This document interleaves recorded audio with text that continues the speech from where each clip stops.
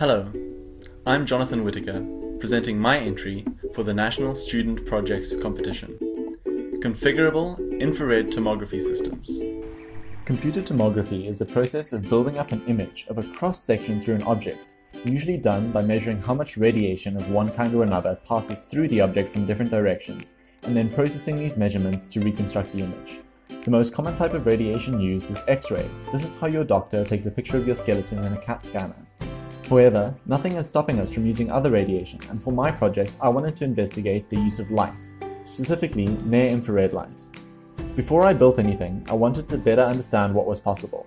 I found that I just didn't have the intuition to answer questions like, how many sensors do I need? Or, which arrangement will work best? I was also interested in using non-standard arrangements like the one shown here, and seeing if I could find new ways of getting useful information out of the readings they produce. I started out by writing some code that let me simulate scans with different arrangements of emitters and detectors. This gave me a deeper understanding of the maths behind it all, but also let me start building up my understanding of what would work and what wouldn't. I first tried some traditional arrangements and compared the results with those obtained from other available tools that already do simulation of different computer tomography operations.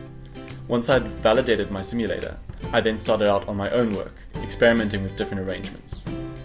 It quickly became clear that even with a small number of sensors and emitters, I could make sense of the readings using machine learning.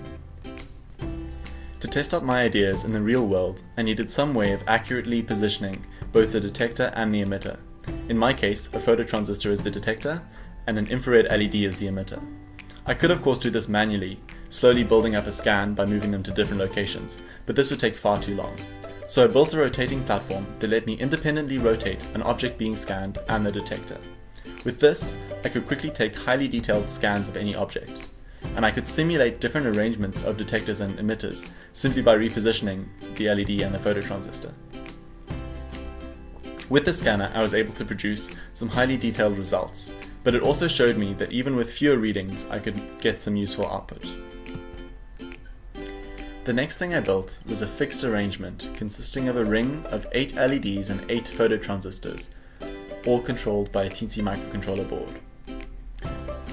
An object is placed within the ring, and a set of readings is taken.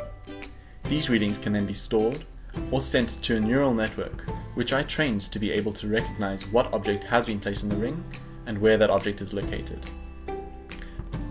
This approach performed surprisingly well, it was able to tell the difference between a pen and a finger inserted anywhere in the ring with 99% accuracy, and it was able to predict the location of the object inserted to within about 10% of the radius of the ring. However, getting to this level of accuracy required a large number of training samples to be used.